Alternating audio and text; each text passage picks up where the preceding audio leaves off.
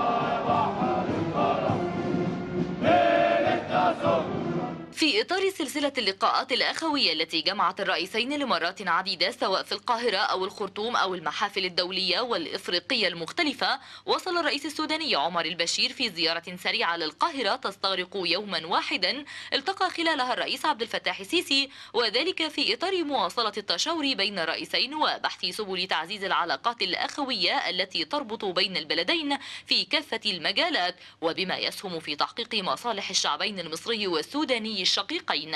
وعقد الرئيسان مؤتمرا صحفيا أكد خلاله الرئيس السيسي عزم مصر العمل مع السودان وبالتعاون مع إثيوبيا تحقيقا للمنفعة الجماعية من مياه نهر النيل دون إلحاق أي ضرر بأي طرف وأعلن الرئيس العمل على تعزيز التعاون بين البلدين في مختلف المجالات وتفعيل الآليات المشتركة بين البلدين والممثلة في عدد من اللجان والهيئات. تأتي هذه الزيارة الكريمة من الأخ الرئيس عمر البشير والوفد المرافق لتعكس الروح الإيجابية بين البلدين والحرص التام على تعزيز التشاور والتنسيق وتوثيق أواصر التعاون في مختلف المجالات وتعزيز التشاور في القضايا ذات الاهتمام المشترك.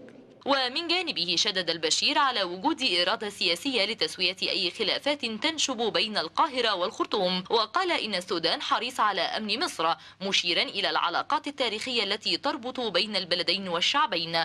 كما تحدث الأخ الرئيس تطرقنا على على مختلف القضايا والمشاغل التي تشغل البلدين والشعبين. ونؤكد مرة ثانية أن هنالك إرادة سياسية قوية للتعاون لحل أي إشكالية تظهر بين البلدين بل التعاون لتكون قضايا هي بناءة لمصلحة البلدين ومصلحة الشعبين. زيارة شهد خلالها الرئيسان احتفالية يوم الأسرة المصرية في الصالة المغطاة باستاد القاهرة الدولية. أنني أؤكد قناعة مصر بأن أمن واستقرار ومصالح السودان كانت وستظل دائما جزءا لا يتجزأ من أمن واستقرار ومصالح مصر. أشكر فخامة الأخ الرئيس عبد الفتاح السيسي والأسرة المصرية على هذا التكريم المبهر الذي هو تكريم للسودان وشعبه وعلى حفاوة والكرم الفياض. زيارة للبشير تأتي بعد أيام قليلة من زيارة اللواء عباس كامل القائم بعمل رئيس المخابرات المصرية للسودان ولقائه وزير الخارجية السوداني إبراهيم غندور وبعض المسؤولين السودانيين لبحث كافة الملفات العالقة وحل أي خلافات وتهيئة كل الظروف للعودة بعلاقات البلدين إلى مسارها الصحيحة وكان الرئيسان المصري والسوداني قد التقيا مؤخرا على هامش اجتماعات القمة الإفريقية في العاصمة الإثيوبية. أديس أبابا وأكد على خصوصية وقوة العلاقات المصرية السودانية والروابط التاريخية التي تجمع البلدين وضرورة الحفاظ على الأمن القومي للبلدين لأن كلاهما حجر زاوية في الأمن. يمكن زي ما حضراتكم سمعتوا في التقرير إنه هذه الزيارة زيارة هامة جدا جدا وحتى السفير بسام راضي المتحدث باسم رئاسة الجمهورية قال إن هذه الزيارة أتت في وقت هام جدا. تم خلال هذه الزيارة بحث كافة مجالات التعاون المشترك بين البلدين زي النقل والربط الكهربائي والنشاط التجاري والاقتصادي وإن الزيارة في هذا الوقت الذي له أهمية خاصة جدا من حيث الوضع بالنسبة للأمة والوضع الإقليمي والدولي واللي بيتطلب الترابط بين الأشقاء والأصدقاء. الأصدقاء أشار أيضا المتحدث باسم رئاسة الجمهورية ما على ما أكده الرئيس السيسي بأن من أن مصر لا تحمل للسودان إلا كل خير وذلك كان خلال هذا اللقاء اليوم وأن هناك ثوابت راسخة للعلاقات بين مصر وأشقائها وكل الدول الصديقة وأن مصر وقادتها بتمد إيدها للجميع بصفة عامة ومساعيها صادقة للأشقاء السودانيين بصفة خاصة. مصر تسعى تسعى إلى ترابط بناء وعلاقات صداقة